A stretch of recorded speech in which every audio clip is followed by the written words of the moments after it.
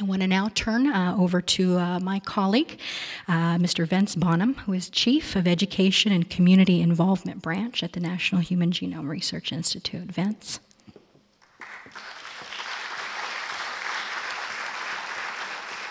So, good morning. Uh, I am um, so pleased to be here this morning. Um, have some slides that I want to share with you, but I want to start by um, thanking Malia. Uh, Malia um, has been a true partner uh, in the development of this symposium today uh, and the collaboration that our institute has with uh, NCAI has been extremely important to us. Let's see if I can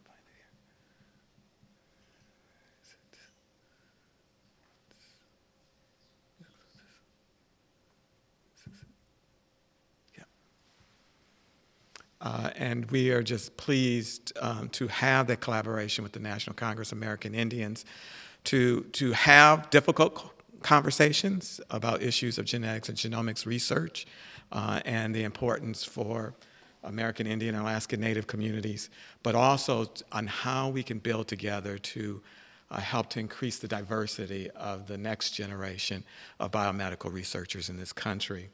So I, I'm from NIH. I'm a biomedical researcher, so I use slides.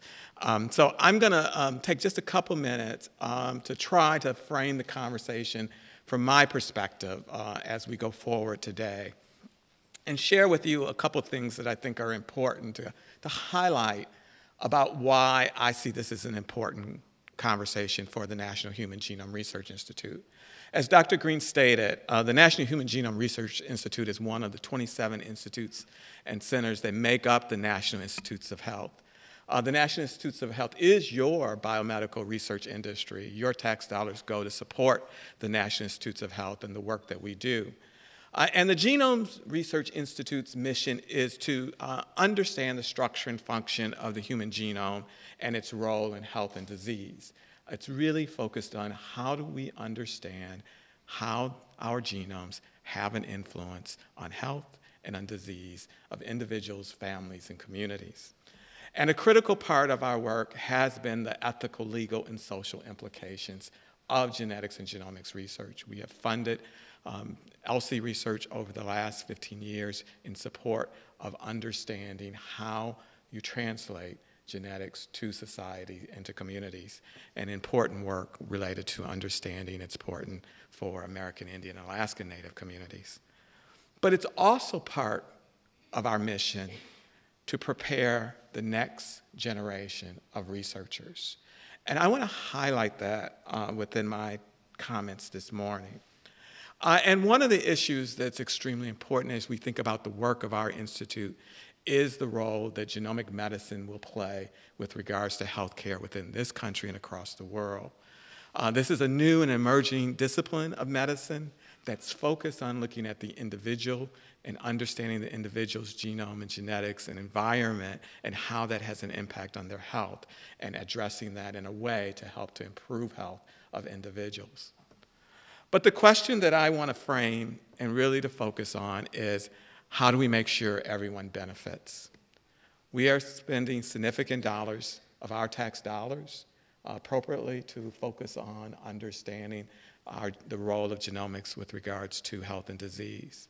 But will everyone benefit? And who will not benefit? And how do we take steps to make sure that everyone benefits?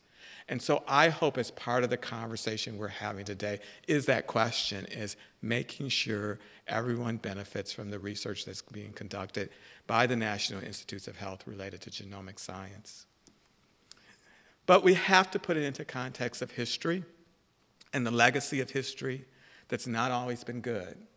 Uh, and I provide this slide um, to talk about helicopter science. Uh, and as I have worked with the National Congress of American Indians and various uh, tribes over the last 12 years since I've been at the National Institutes of Health, one of the comments that comes up often is this issue of helicopter science, of scientists coming in, uh, taking samples, taking data, but not coming back, not sharing. And how do we address that issue as we go forward? And so we need to recognize that there is a history of, in certain circumstances, of this helicopter science that doesn't have the impact of providing direct benefit or going back and providing information to individual communities that participate in research. And there's other legacies of the history of genetics research that we must acknowledge. Uh, and the recent uh, situation of the Havasupai tribe uh, with regards to genetics research is something that we all must recognize, and it's clearly an elephant in the room of understanding the errors and mistakes that have occurred uh, within the field of genetic and genomic science, and how do we move beyond that and move forward to improve the health of all. So I want to spend my time talking a little bit about this question of diversity of the biomedical workforce. And one of the issues is how do we look at research questions? How do we bring our perspective, our life experiences, our culture in looking at questions? And I believe that it's important to have diversity of the individuals who are identifying the questions, interpreting the data, and presenting the results to make sure that we really move forward as a society to benefit all. So, this question of the diversity of the biomedical research workforce is an important one. This data I share with you is just about the National Institutes of Health, and it's focused on the tenure track scientists and how many tenure track scientists from different racial and ethnic backgrounds. And it's very clear that we have a lot of work to do. There's much to be done to increase the diversity of the biomedical research workforce. So, as already been stated by both Dr. Green and, and Jackie Pata and, and Malia, that one of the steps that we have taken is related to this collaboration around the Genetics Resource Center that the National Congress of American Indians has on the web to help provide resources to tribes to make decisions about participation in research. And we see that as a first step in our relationship with NCAI and other communities in helping to increase the diversity of workforce and thinking about these topics. But we also need to talk about the conversation. And as stated, um, there is a great exhibition across the mall at the Natural History Museum, Genome Unlocking Life's Code. And it's great both for the content, but more importantly, for the opportunity to help facilitate conversations. There are a number of interactives and activities within the exhibition where there are no right answers. It's perspectives. It's bringing a frame, a viewpoint to help to make decisions. And that's what I think we must be all about is how do we use coming together to have difficult conversations, to create new strategies to improve the health of all and reduce disease. So I want to end my comments back with this question about the diversity of the biomedical workforce and training the next generation of ethical, legal, and social researchers, as well as basic science genomic researchers and clinical geneticists and clinical genomic researchers. We need everyone involved.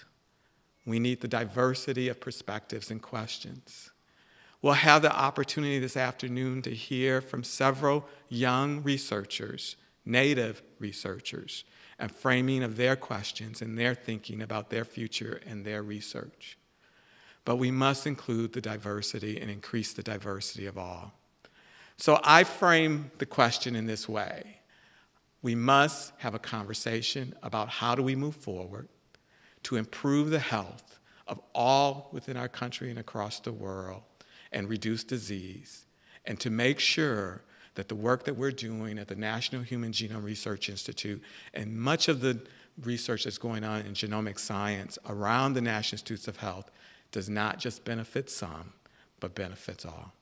So thank you very much. Have an interesting and engaging day, and we encourage you to ask questions and provide your perspective as part of this conversation that we're having today. Thank you.